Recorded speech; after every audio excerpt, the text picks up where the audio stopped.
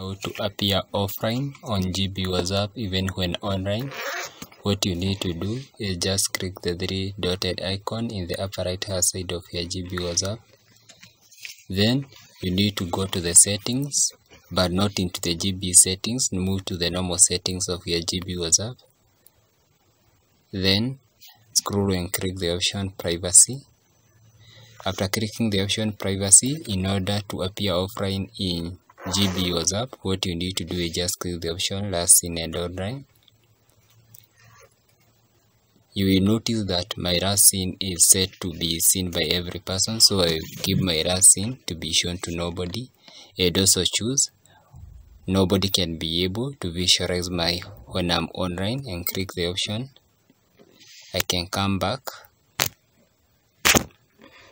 and re restart my GB WhatsApp to ensure that the settings are updated now and now I can appear on offline even if I'm online in GB WhatsApp. Thank you for watching. Kindly don't forget to give the video a thumb up and also a subscription.